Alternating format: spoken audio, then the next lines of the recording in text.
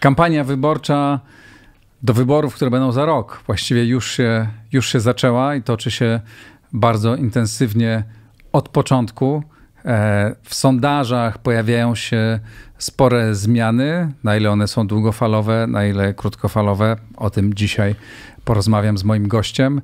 E, przypominam, że Układ Otwarty to całkowicie niezależny projekt, który może być niezależny dzięki Państwu, dzięki temu, że, go, że oglądacie ten program, że subskrybujecie i że co najważniejsze wspieracie na patronite.pl. Kto chciałby dołączyć do grona patronów, serdecznie zapraszam na mój profil, a wszystkim patronom bardzo, bardzo dziękuję i zapraszam na rozmowę.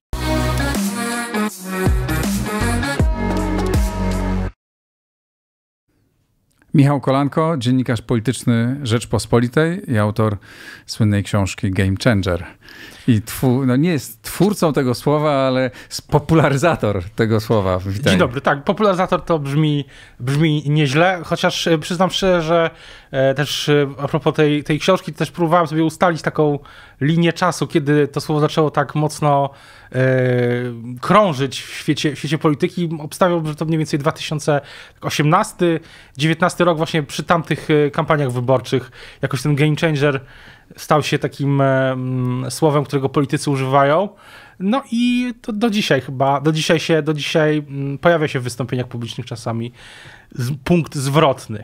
Historycy będą badać to przez lata, e, e, kiedy to słowo zaczęło funkcjonować. Poważnie mówiąc, e, właśnie mamy chyba do, znaczy właśnie pytanie, czym mamy do czynienia z takim game changerem w polityce? Mówię o ostatnich sondażach E, które pojawiły się, bo pojawiły się pierwsze sondaże pokazujące, że Prawo i Sprawiedliwość no, nawet przegrywa.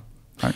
To są pojedyncze e, sondaże na razie, nie pokazujące, znaczy nie wiemy, czy to pokaże, pokazuje trend, czy nie. Powiedz, co ty sądzisz o tym, co wiesz na Tylko ten jeszcze temat? jedno słowo, słowo wstępu dla naszych e, widzów, słuchaczy, którzy, żeby było jasne, game changer to właśnie punkt zwrotny. To jest tak. takie wydarzenie w polityce, które nieodwracalnie zmienia reguły gry, po których nic już nie jest e, takie samo i to też jest tytuł, tak jak hmm. wspomniałeś, e, książki, która się niedawno ukazała, ale właśnie książki też o takich game changerach, o punktach zwrotnych. I myślę, że ja powiem tak, że bardzo rzadko się zdarza, ja nie przypominam sobie, żeby w ogóle jeden sondaż, czy nawet kilka sondaży, jeśli się pojawiają, żeby były punktami punktami y, zwrotnymi. Raczej punkty zwrotne Game Changery to takie wydarzenia, nie wiem, powrót Donalda Tuska, 500+, plus, zwycięstwo Andrzeja Dudy, takie bardziej, e, takie, które w, w, rzeczywistość tak mocno e, e, zmieniły. sondaże nie no, są... Ale czasami sondaże mogą pchnąć E, wyborców, bo uwierzą, że coś jest możliwe, Bardzo... albo, albo kompletnie spowodować, że przestają w coś e, wierzyć. Przede wszystkim jest kilka, kilka rzeczy. Tak jak e, wspominałeś, żeby, znaczy, wydaje mi się, że to jest jasne, że żeby mówić o jakimś przełomach politycznych, czy w ogóle, że polityka się zmienia, no to gdy się spogląda na tę politykę przez pryzmat sondaży, to przede wszystkim trzeba by mieć dużo e, sondaży pokazujących, wiele sondaży pokazujących e, ten sam trend. E, pojedyncze sondaże, tak jak mówiłem, rzadko bywają, mm, czy w ogóle raczej nie są game, game changerami. Myślę, że dzisiaj, kiedy są wakacje, to trzeba też, żeby w pełni jakieś trendy zobaczyć, trzeba zaczekać e, do jesieni. Myślę, że e, jeśli chodzi o polityczną jesień, no to wtedy będzie można też po kilku miesiącach, kilku tygodniach e, zobaczyć, czy pewne trendy z dzisiaj się aktualizują, aktualizują czy nie. Myślę, że jak na obecną sytuację w ogóle, to Prawo i Sprawiedliwość trzyma się w średniej sondażowej całkiem mocno. Jak na sytuację, w której już od kilkunastu przecież tygodni, miesięcy nawet, tematem y, rozmów Polaków przy takich y, stołach kuchennych, y, nie podcastowych, ale kuchennych stołach, jest inflacja, to, że są niedo, że pewnych rzeczy trudno kupić, na przykład samochód, albo mm, coś jest droższe niż przed rokiem, wyjazdy wakacyjne to wszystko już tematem Ludzie stoją było. w kolejkach po Mercedesy. tego, akurat, tego akurat nie. Y, y, ja nie mam, nie mam samochodu, to znam z opowieści bardziej znajomych, Nie, ale to którzy... nie, to nie żart, bo nie stoją, ale czekają, e, czekają bardzo długo, ale nie myślę, że, Że żeby, to był, się- żeby to był jakiś wielki problem e, w że długo większości się, naszego z- Znajomi społeczeństwa. właśnie ostatnio, jeden, drugi znajomy opowiadał, że właśnie długo się czeka na ten zwykły samochód Mhm. osobowy, tak, który, który to, to jest sprawa tych też pozrywanych łańcuchów dostaw, kłopotów, które ma e, branża motoryzacyjna. I, y, ale do czego zmierzam? Że to już jest wiele miesięcy tematem. To, że jest, y, mamy oczywiście od lutego, lutego wybuchła wojna. Wybuch wojny jest w tym roku, jak będą podsumowania, to myślę, że to jest game changer y, roku, a nawet Tak. dekady, który bardzo dużo rzeczy zmieni w polityce. Ale wracając, że jak na dzisiejszą sytuację, to myślę, że Prawo i Sprawiedliwość trzyma się mocno, co nie znaczy, że e, nie przeżywają i wewnętrznych, i zewnętrznych e, kryzysów. Okej, zaraz wejdziemy do, do, będziemy bardziej szczegółowo o mm, e, te rzeczy analizować, te poszczególne elementy ana, analizować. E, rozumiem, że tak, teza pierwsza, te sondaże pierwsze, które pojawiły się, nie są jakby wielką zmianą i należy pod nich, po, do nich podejść z dużą ostrożnością. Czyli do sondaży w ogóle. Tych, Jasne. E, Pytanie, czy ta kampania, tak? bo, bo zaczęła się, co do tego nie ma wątpliwości. Tak? Jarosław Kaczyński objeżdża e, Polskę, Donald Tusk objeżdża Polskę, wiele rzeczy się e, dzieje. Czy ta kampania będzie bardziej brutalna niż e, dotychczasowe, które były przecież brutalne? Myślę, że na pewno będzie bardzo długa i intensywna już jest. Ja liczę, że początek kampanii Prawa i Sprawiedliwości to była ta konwencja wyborcza w Markach pod Warszawą na początku czerwca, 4 czerwca, to dosyć symboliczna, symboliczna data. Platforma już wcześniej, Donald Tusk wspomniany przez ciebie, jeździł po Polsce, w zasadzie od stycznia, czy od wczesnej, e, od stycznia e, były takie wyjazdy, rozmowy w takim formacie kampanijnym, tu jakieś śniadanko, tutaj spotkanie z przedsiębiorcami w sklepie, w, w, w jakimś zakładzie pracy i tak dalej. I wszystkie partie, przyglądam się, to wszystkie partie i siły parlamentarne i pozaparlamentarne, jak Agrounia, y, są w terenie od, od miesięcy, od tygodni, może nawet miesięcy, można powiedzieć, więc więc to jest kampania będzie na bardzo długa. Czy, czy będzie bardziej y, brutalna? Na pewno stawka tej kampanii sprawi, że y, już teraz to widać w, tych, w tej retoryce, że ona będzie na pewno będzie na pewno już jest ostra. No bo tak, z jednej strony e, PiS przez te 8 lat, tak, jeszcze no nie- niecałe 7, tak, ale za chwilę będzie e, 8, no bardzo mocno się osadził, tak, i, i swoich ludzi, i swoje interesy i tak dalej, i tak dalej. Utrata tego oznacza bardzo dużo dla nich. Z drugiej strony opozycja 8 lat czy 7 lat jest już poza, tak, dostaje szału i e, gło- są głodni e, tego, żeby zająć miejsce tych, którzy wcześniej zajęli ich miejsce i teraz ten głód jest naprawdę e, duży. No, dla Donalda Tuska to jest zapewne, jeśli przegra, to będzie ostatnia kampania. Trudno sobie wyobrazić, żeby po przegranej on został w polityce. Dla Jarosława Kaczyńskiego też być może jest to ostatnia. Czy, Tak, to, ale- czy, czy, to, czy to powoduje, że to zwarcie może być bardziej brutalne niż do, do tej pory? Myślę, że Były. oczywiście no, będą padać nowe, padają też po wybuchu wojny, tak? Widać, że y, zarówno jeśli chodzi o sprawy gospodarcze, odpowiedzialności za, gospod- za inflację, y, kwestia węgla, to wszystko jest takie, mam wrażenie, bardziej troszeczkę, bardziej rzeczywiście wy, wyostrzone, ale y, wyostrzone i też obserwując ostatnio retorykę prezesa Kaczyńskiego, widać, że, że ten, że arsenał tych ch- retoryki i chwytów się, się poszerza, tak? Też ze strony i strony Donalda Tuska, i w zasadzie wszystkich uczestników tej sfery e, publicznej. Nawet e, dosyć, nawet, z- nawet Władysław Kośniak-Kamysz niedawno bardzo mocna jak na niego wypowiedź w Sejmie e, o, o premierze Morawieckim, o, o, o tym, że jest, że powinien się o jego, o, premierze, o premierze Morawieckim. Więc wydaje się, że tutaj wszyscy w pewnym momencie, czując tą stawkę, mm, bo ja nie mam żadnych wątpliwości, pytasz, czy będzie bardziej brutalna, no już jest pewno mm, ostrzejsza, bardziej wyraziście są stawiane sprawy, że jej stawka będzie naprawdę jest, jest naprawdę ogromna. Ja się też nie dziwię, że ona się zaczęła tak wcześnie, chociaż jak dla mnie, ja obserwowałem kampanię wyborczą od 2010 roku, e, taką, ten pełny cykl, to jest kolejny taki cykl wyborczy, który obserwuję. No, na pewno jest e, pewnym troszeczkę jednak zaskoczeniem, jak już dzisiaj grają te emocje czysto kampanijne, wyborcze. No przecież te emocje wokół spotkań, czy spotkań głównie Jarosława Kaczyńskiego ostatnio, to są emocje czysto kampanijne, tak? Takie rzeczy się dzieją w kampanii wyborczej, kiedy ona jest już rozkręcona. Czasem my y, rozmawiamy po, pod koniec lipca, gdy do wyborów, y, bo chyba wszyscy się, y, opozycja się już pogodziła, Prawo i Sprawiedliwość skutecznie, myślę, wygasiło i odsunęło ten temat wcześniejszych wyborów. Do wyborów jeszcze kilkanaście O, za 15 miesięcy, miesięcy pewnie. A tutaj już czuć będą, te, tak, te tak. emocje, które są emocjami Ale właśnie, pytanie, czy tak naprawdę, bo ja mam takie przeczucie, być może niesłuszne kompletnie, że owszem, u polityków ta walka będzie bardzo ostra, bo to jest walka na śmierć i życie polityczne, e, ale w społeczeństwie tak niżej, to już te emocje opadły dużo bardziej, zwłaszcza być może wojna wyrównała trochę te e, różnice, że już ludzie już nie ma tak silnego napięcia między dwoma plemionami, jakie były.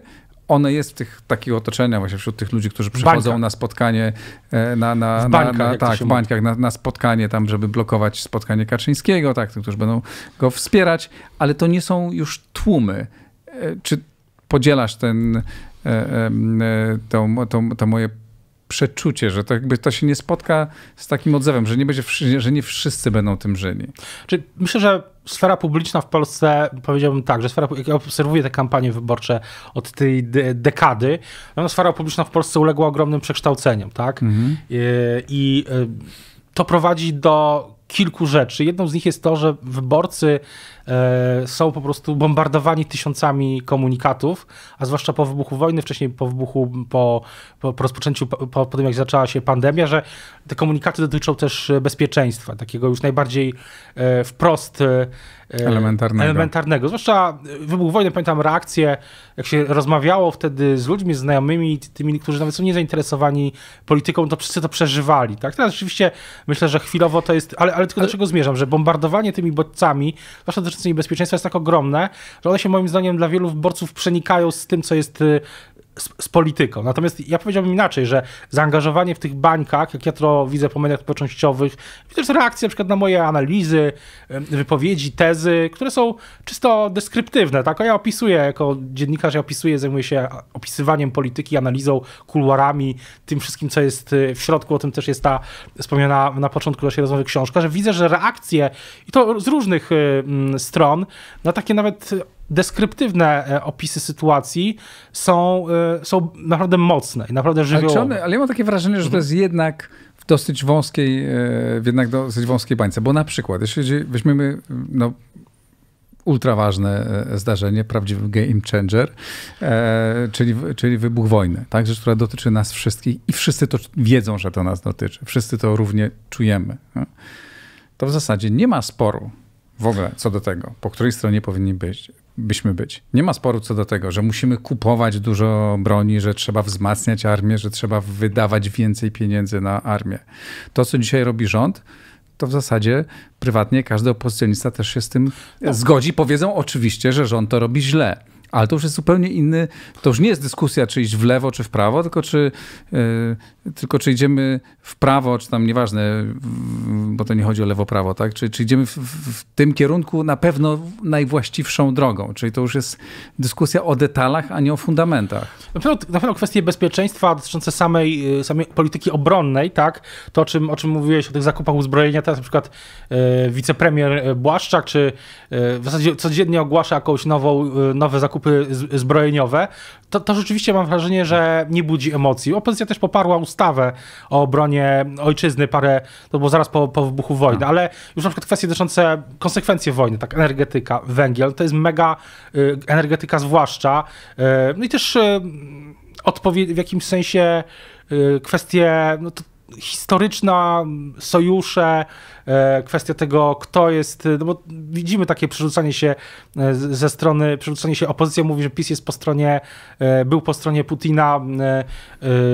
A, prezes, PiS mówi, że, prezes, że Tusk był po stronie Putina, tak? Dokładnie Tylko tak. To jest, to jest, ale... Wszyscy wiedzą, tak naprawdę, przecież nikt nie był po stronie Putina owszem, jedni próbowali tak albo tak e, grać, z czego można dzisiaj wyciągać rozmaite rzeczy i atakować się nawzajem, ale to jest słaby argument e, do atakowania, e, ponieważ wszyscy wiedzą tak naprawdę, jak jest. No, że Polska zawsze nigdy nie była pro, prokremlowska, tak, bo nie mówię o prorosyjsk, Ale taki spór o tym, kto miał, kto miał rację, on się na przykład toczy na tej płaszczyźnie też polityki czy relacji z, z Niemcami. To myślę, mhm. że to, to nie jest już spór właśnie kto był z Putinem, a kto nie, tylko właśnie kto, e, no to prezes Kaczyński ostatnio mocno, e, jak się wyrażę, podbija, tak? Widać, że w retoryce, e, w tej retoryce PiSu jest to, jest to widoczne. Tak samo ja mam wrażenie, że to się wszystko, że i nawet jeśli wyborcy dzisiaj nie są tak mocno zaangażowani, bo są wakacje, bo jednak potrzebny jest taki, taka psychologicznie jest potrzeba pewnego oddechu, tak? To, po tym pierwszych miesiącach wojny, to do której się za... przyzwyczailiśmy, wcale nie jest lepiej, tylko po prostu przyzwyczailiśmy tak. się do tej sytuacji.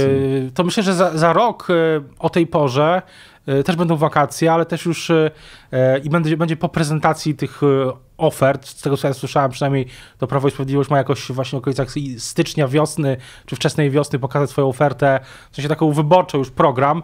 Te programy będą, e, pewnie inne partie, jeśli się zdecydują, też pewnie będą miały już e, pokazane coś, będzie, będzie pokazane coś e, realnego, tak, i to będzie też inny, inna sytuacja. Już ten, wydaje się, że mimo tego bombardowania i tego tego napięcia, bo ja tak czuję, ja to napięcie obserwuję, tak, może dlatego też, że widzę y, przede wszystkim te reakcje w tych y, bańkach, tak, ale jednak myślę, że y, im bliżej będzie fizycznie już terminu wyborów, jak już będzie właśnie to, to jednak to wyborcy też będą to mm, odczuwali, że ja też nie, nie, nie sądzę, żeby można było, mm, że na razie to są takie to jest, taki, to jest, taki, rozbieg, ale też moim zdaniem e, to jest po prostu mobilizacja na razie, tak mm. jak e, mobilizacja baz, zwłaszcza w przypadku e, Prawa i Sprawiedliwości. To widać, że testowane są niektóre opisy sytuacji, narracje, argumenty.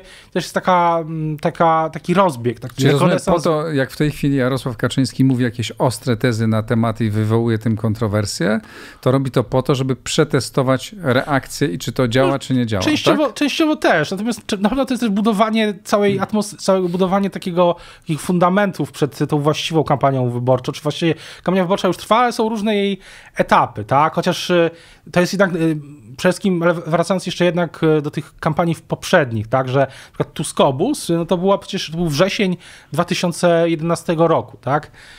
I to był relatywnie krótko, krótki czas, kiedy Donald Tusk jako E, wtedy premier jeździł, jeździł po Polsce tym, tym kampanijnym autobusem, tak? A teraz e, to wszystko jest bardzo mega rozciągnięte w czasie, jednocześnie wyborcy są zwłaszcza młodsi, tak? Którzy nie, nie korzystają, nie oglądają liniowej telewizji, tak? E, mają telewizory, ale nie mają na nich, nie mają żadnych podpiętych żadnych stacji, tylko mają tam rozrywkę, konsole do gier i tak dalej, że oni zupełnie inaczej też odbierają te komunikaty wyborcze. One, oni widzą kampanię, czy to, co się dzieje, nie wiem, przez pryzmat Insta Stories na popularnych profilach na, na Instagramie. No, ale pewnie obie strony będą tych narzędzi no bardzo dobrze e, wykorzystać. Ostatnio zresztą prezes Kaczyński nawet w takim wypowiedzi, która stała się szybko wiralem, no, powiedział, że młodzi korzystają ze, ze smartfonów i będzie jakaś kontrakcja, chociaż ja akurat uważam, że E, Prawo i Sprawiedliwość e, no zdaje sobie sprawę, że takiego to jest z ogromnego wyzwania, jakim są dla Prawa i Sprawiedliwości młodzi ludzie, ale też pocieszają A kiedyś się... dawało sobie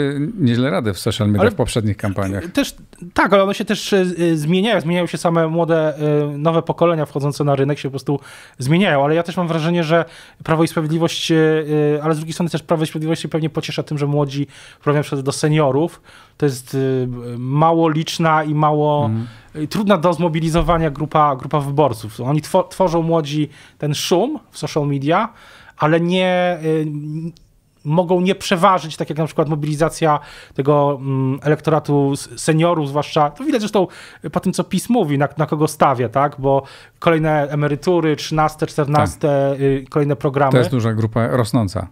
Tak, zgadza się, to też, jest, y, to też jest wyzwanie, mm, oczywiście też demograficzne, pokoleniowe. Okay. Powiedz mi, co ben, jakie będą główne tematy tej kampanii? O czym tak naprawdę ta, wokół jakich wątków ta kampania będzie się toczyć? No bo wojna, no ultra ważny temat, ale trudno wokół tego toczyć spór, prawda?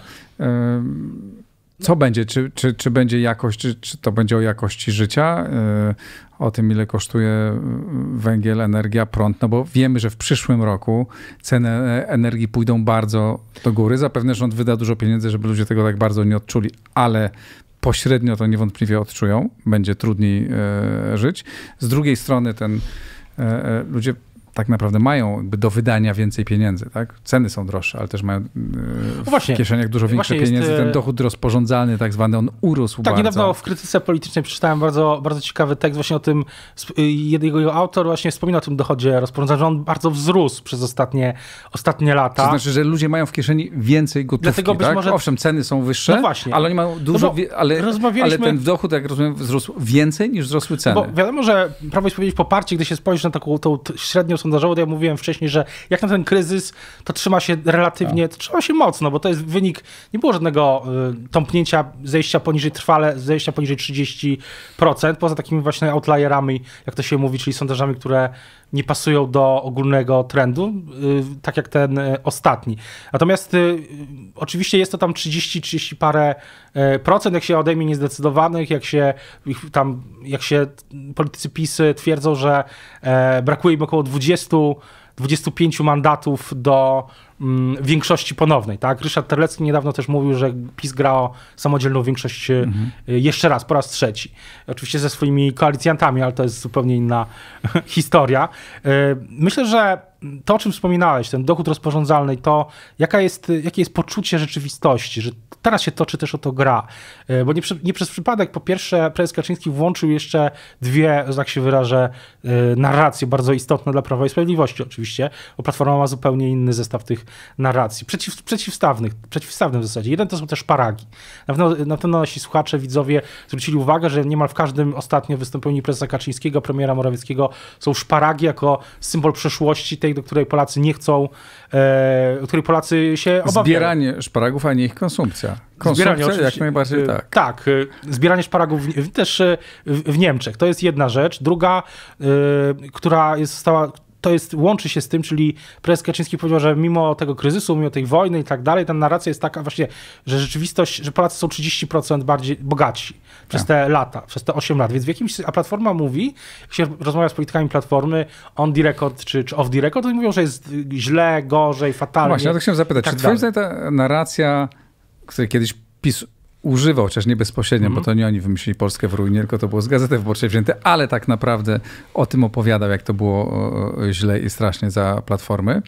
E, czy dzisiaj ta sama narracja e, e, budowana przez Platformę ma szansę powodzenia? No bo z jednej strony wydaje się, no rzeczywiście te ceny idą w górę, a będą w przyszłym roku szły jeszcze bardziej, ale mam też takie poczucie, że to jest ja słyszę to narzekanie e, e, w kolejce e, do security na lotnisku. Nie? Ludzie mhm. jadą na wakacje samolotem, na który, o którym kiedyś nie mogli marzyć, prawda? Wyjazd dzisiaj mhm. za, za granicę jest czymś banalnym, normalnym. Mhm. Jak ktoś nie leci za granicę, to nie dlatego, że go nie stać, tylko dlatego, że sobie woli gdzie indziej, bo u nas też jest równie drogo. No i stojąc w tej kolejce do samolotu, może tanich linii do Grecji, narzeka, że jest drogo, nie? Więc, ale jednak leci do tej Grecji czy gdzieś tam. Właśnie, to jest tak, że myślę, że odpowiedząc na twoje pytanie, o czym będzie ta kampania, to w jakimś sensie one, te przedbiegi już trwają. To jest właśnie, ta, kampa ta kampania będzie o, o, jakimś pewnego rodzaju opisie rzeczywistości, tak? który, bo to, że dzisiaj PiS ma te 30 parę procent ogólnie tej średniej, to jeszcze absolutnie niczego nie przesądza. Tak? Rozmawialiśmy o tym, że to jest długa, wyczerpująca kampania. Wygra ten, kto popełni mniej błędów. Tak? Oczywiście są wbudowane takie czynniki e, strategiczne, tak? na przykład e, wbudowana jest już wojna, tak? jej konsekwencje, których też do dzisiaj, dzisiaj nie potrafimy sobie wyobrazić, jak będzie wyglądała sytuacja za rok. No, definiowana jest przez to, czy jak przebiegnie po prostu działania wojenne, ile Ukraińcy będą skuteczni w wykorzystywaniu tej broni, którą dzisiaj okazało się na przykład, że kolejne czołgi wysłaliśmy na Ukrainę. E, I to też będzie definiowało to starcie w październiku 2023 roku. Ja myślę, że ono będzie starciem, już teraz to właśnie starcie o rzeczywistość, tak? Jak ona jest? Czy tak jak w tych spotach ze Stanów Zjednoczonych z tych lat 80. była ta, był spot bodajże Ronalda Reagana, czy czujesz się lepiej, czy jest ci lepiej czter, po czterech latach niż, niż jest ci ci, niż jest ci gorzej, tak? Y, jak się, to jest, to jest myślę jeden, ale ten jeden ogólny temat i to, że dzisiaj też e, dominują tematy gospodarcze, no to też widać, że e, to też nie znaczy, że one będą cały czas. Znaczy będą też, myślę, że do mobilizacji, demobilizacji elektoratów. Tematy będą, obyczajowe też będą. Myślę że, myślę, że na przykład myślę, że też nieprzypadkowo na przykład w ostatnich wystąpieniach przewodniczącego Tuska byłem na tej, relacjonowałem tą konwencję w, w Radomiu, też ogromne wydarzenie, tak zupełnie właśnie na ileś tam 13 miesięcy przed wyborami. Ja pamiętam konwencję Platformy z Ergo, Ergo Arena w 2011 roku, no była tuż przed, to był już tak. rozbieg, to już była już ścisła kampania wyborcza, to i Platforma organizuje bardzo... Ale co, co takiego było? Zacząłeś mówić, że... Tak, bardzo, Tusk, dokończę, że bardzo duże mówisz? wydarzenie i na przykład Donald Tusk mówi nie tylko o prezesie Glapińskim, tak, a na przykład mówi o, tym, o tej komisji, czy o tym e, ściganiu pedofilii, tak, że nie będzie świętych krów i tak dalej, że taki bardzo mocny argument też właśnie mobilizujący wyborców. Z drugiej mhm. strony, e, więc wydaje się, że te argumenty, z, z drugiej strony oczywiście prezes Kaczyński no, e, mówi o osobach transpłciowych, tak, co wywołało też e, e krytykę i też, też wydaje mi się, że to jest taki sposób na mobilizację łamane przez testowanie, jakkolwiek by to mhm. nie zabrzmiało, testowanie pewnych narracji, hmm. opowieści, które polityka, będą... Polityka jest bardzo, bardzo brutalna i, i, i rozgrywana na zimno. E, I to właśnie robi teraz e, prezes Kaczyński. A powiedz, czy twoim zdaniem opozycja buduje jakąś atrakcyjną opowieść? Czy znajduje? Czy jakby jest na drodze do jej odnalezienia, do odczytania jakiejś emocji, która, która jest w wyborcach która może chwycić, no bo jest w trudnej sytuacji, jak zwykle opozycja. No opozycja jest y, w trudnej sytuacji, ale z drugiej strony, no można by powiedzieć, że tak pół żart, trochę złośliwie, a trochę nie, że jeśli opozycja nie, nie zdoła wygrać, czy inaczej, w tak relatywnie wysoka inflacja, która się, i efekty będą się utrzymywały jeszcze długo, być może potężny kryzys energetyczny w jesienią, też tego nie wiemy do końca, jak on przebiegnie, czy wróci COVID, takiej sytuacji mm, wydaje się, że e, ja się zastanawiam po pierwsze co do opozycji, nie tylko co do samej opowieści, tak, czy argumentów, bo opozycja, jeśli wygra te wybory w przyszłym roku, wszystko jest dzisiaj na stole. E, dzisiaj wszystko jest na stole i przy stołach się toczy też taka rozmowa o listach, o miejscach e, i na Nowogrodzkiej, i w, na piątym piętrze w gabinecie Donalda Tuska o strategii, o pomysłach, planach i tak dalej. Ale jest jedno, jedno, myślę, dzisiaj wydaje się jasne, że jeśli opozycja wygra te wybory, jeśli dojdzie do zmiany władzy, to inaczej niż e, PiS w 2015 roku. Bo PiS jednak Albo inaczej, e, inaczej niż, e, bo nie, dzisiaj bym zaryzykował tezę, że to będzie, że, że ta oferta, tak, zwłaszcza jeśli chodzi o platformę. Platforma, ostatnio dyskusja o czterodniowym tygodniu pracy, ale jednak myślę, że to będzie bardziej powtórka tego przemówienia z Radomia e, przewodniczącego Tuska. Czyli... A co nie zrozumiałem, co masz na myśli mówiąc, że to będzie, jeśli Platforma mhm. czy opozycja wygra, to, będzie, to wygra inaczej no niż bo PiS. PiS postawiło, e, PiS postawiło na politykę oferty i robiło to później też, różnymi, różnymi oczywiście skutkami. Y, sam prezes Kaczyński mówi też, że nie program mieszkaniowy się nie udał no, i tak dalej. Jasne. Polityka oferty, czyli e, obietnic, obie, obietnic 500+, plus, nie pilotaż. Zróbmy, że w 2014 roku czy 2015 przewodniczący y, prezes Kaczyński, czy wtedy kandydat europoseł Duda, czy, czy premier Szydło, no oni, czy wtedy jeszcze kandydatka na, na premiera, no nie mówili, że wprowadzą pilotaż 500+, plus, albo że, że wprowadzą. Tylko, że wprowadzą. Nie, tak. mówili, że zastanawiają się nad mhm. cofnięciem pod, podwyższenia wieku no to, to co Platforma zrobi inaczej? Platforma, Platforma myślę, że będzie tak jak w Radomiu, to znaczy będzie, jeśli, PiS, jeśli wygramy z PiS, to skończy się inflacja, jeśli wygramy z PiS, to nie będzie Glapińskiego, jeśli wygramy z PiS, to odblokujemy środki y, unijne. I tak To jest, y, że to nie będzie taka polityka oferty, którą PiS, że Platforma tego się w, w tym kierunku nie pójdzie, bo inaczej na przykład się ustawia czy ruch Hołowni, inaczej się ustawia trochę PSL, inaczej się ustawia Lewica, ale to też nie, też pytanie jest, czy dojdzie do politycznej konsolidacji, bo PiS dokonało konsolidacji prawicy. E, czy Donald Tusk skonsoliduje całą opozycję e, przy jednej liście? Mm, Dzisiaj to wydaje się wątpliwe. Dzisiaj się to wydaje wątpliwe, ale tak jak rozmawiam off the record z politykami opozycji, no to gdzieś tam w tle zawsze ta możliwość mhm. istnieje, tylko że znowu e, PiS dokonało tej konsolidacji bardzo wcześnie. To porozumienie z Solidarną tak. Polską, z Gowinem.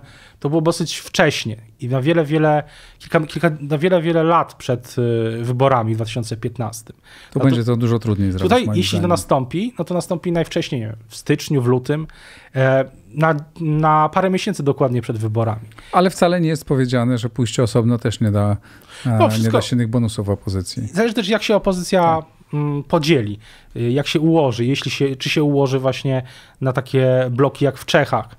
Y, więc to jest, y, to jest gdzie dodało to zwycięstwo. Mhm. Niewątpliwie ta kampania będzie długa, zapewne ciekawa, może i nużąca. E, co jakiś czas do tego w układzie e, otwartym będę wracał, chociaż tu mało rozmawiam o polityce partyjnej, no ale czasem są takie momenty, że trzeba Michał, bardzo Ci dziękuję. Dziękuję również. E, dziękuję bardzo Państwu. Jeśli podobało Wam się to, zasubskrybujcie, wesprzyjcie na Patronite e, i co, do następnego razu. Pozdrawiam serdecznie.